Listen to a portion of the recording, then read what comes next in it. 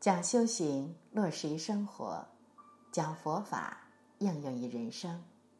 欢迎来到禅心学院，聆听达观师傅教诲，开启智慧人生。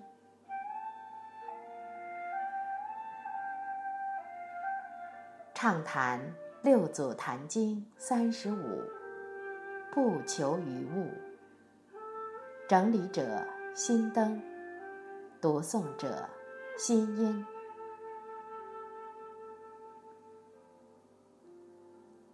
问能曰：“汝何方人？欲求何物？”能对曰：“弟子是岭南新州百姓。”远来礼师，唯求作佛，不求于物。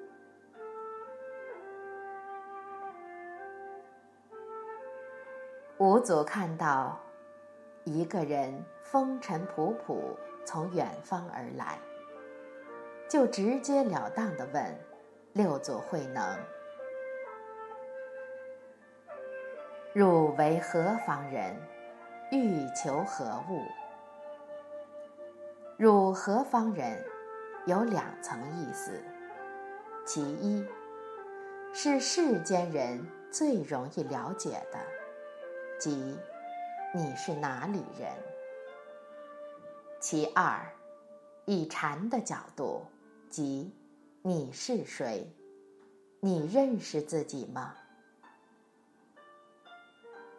欲求何物，则是。你到底想追求什么？这个问题还可以不断延伸下去。你这一辈子想追求什么？你下辈子又想追求什么？你生生世世想追求什么？如此追问下去，我们就会开始彷徨、心慌。越来越不清楚自己所要何物，所求何事。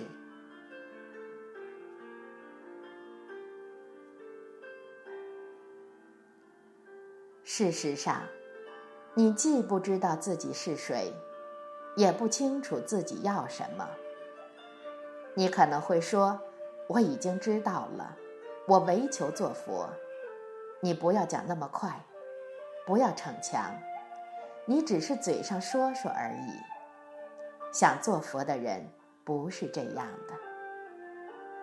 有的问题你听起来表面上似乎很浅，但有程度的人一听你的答案，就知道你是什么人。生生世世，我们欲求何物呢？我们当只求个问心无愧。心安理得，理得心就安；不明理，心才不安。一般人总是不断被自己错误的思想、概念影响，这就是不了解真理导致的，即是佛法所言之无明。从今天起，你要好好的去认识你自己。你当常常思维，什么是我的本来面目？何为生命的实相？接着，你再确定你这一辈子、下辈子，甚至生生世世要的是什么？而且每辈子所要的都一致。比如，我现在是老师，我下辈子、生生世世都要当老师。比如星云大师说，他下辈子生生世世都要做和尚，这都是很切合实际的愿望。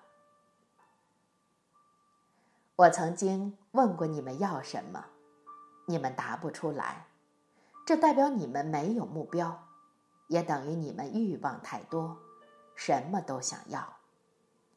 若你确定下来，其他枝枝叶叶的概念就影响不到你。你就不会走岔路或错路。这个概念很简单，比如你开车从杭州出发，上了高速公路，一直开到上海，一路上什么都不必考虑，因为我的目标就是这么明确，我不会犹豫不决，因为我很清楚我最终要去何处，直了上海，直了成佛。你能从中体会到真理吗？连开车都能令我们有所感悟。你做任何一件事情时也是一样，只有在确定目标之后，你的心才会安定。你只要彻底的把心静下来，答案就会浮出水面。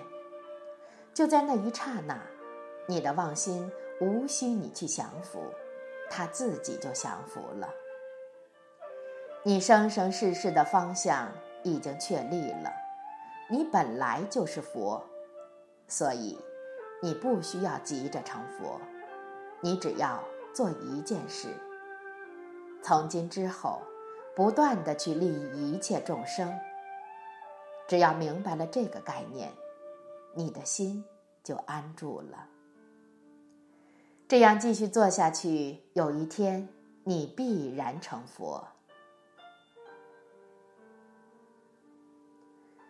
六祖慧能对五祖说：“弟子是岭南新州百姓，远道而来礼拜师傅。”这样的回答很平常，但因为六祖是从远道而来的，所以就变得不平常了。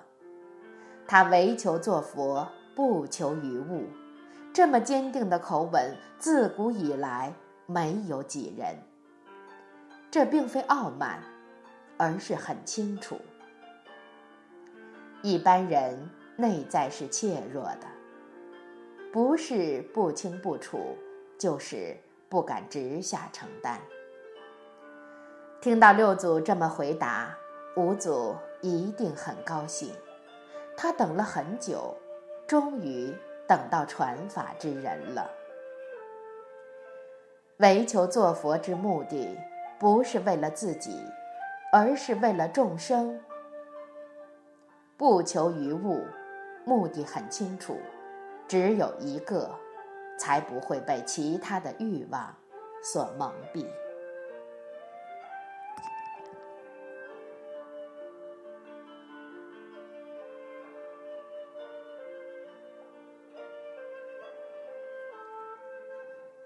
文后思维，你有清楚人生的方向吗？